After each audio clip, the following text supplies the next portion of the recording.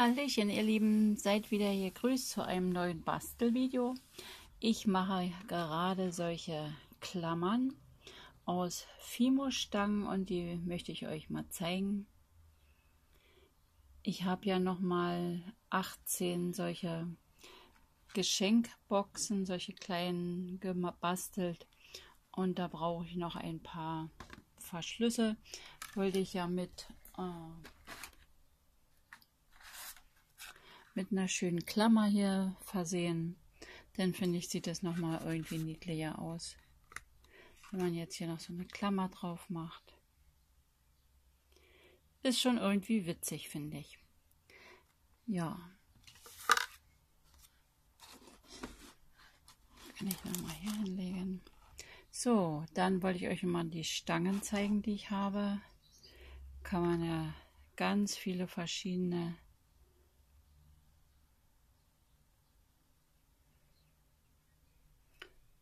Klammern draus gestalten, gerade wie man so möchte.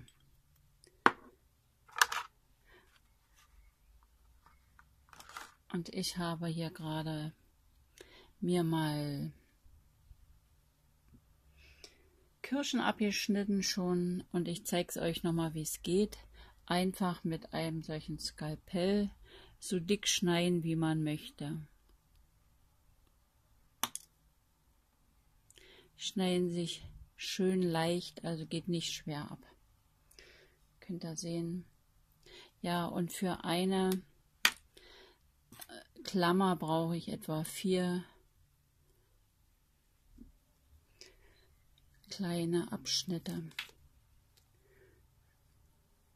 Klebt eigentlich sehr, sehr gut. Muss man nur die richtige Menge hierauf machen. Manchmal ist es natürlich auch ein bisschen viel. Dann streiche ich das wieder ein bisschen ab. Ein bisschen verteilen. Und dann kann man einfach die raufsetzen. Man kann auch eine Pinzette benutzen, aber bin ich immer nicht so geschickt mit Pinzetten.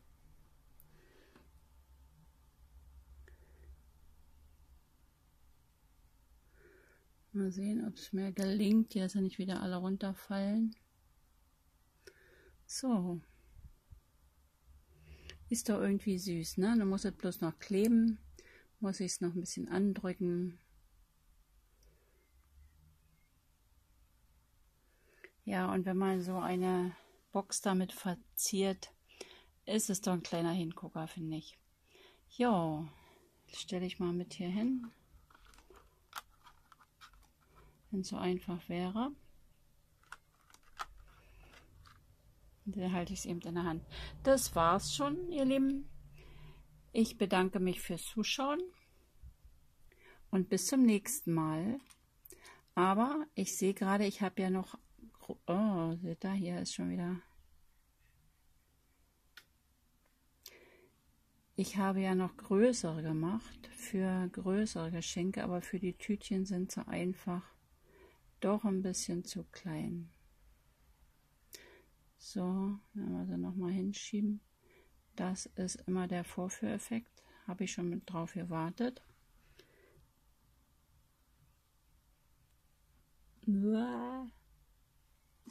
Aber ihr kennt es ja sicher, ihr Bastler, dass nicht immer alles gelingt.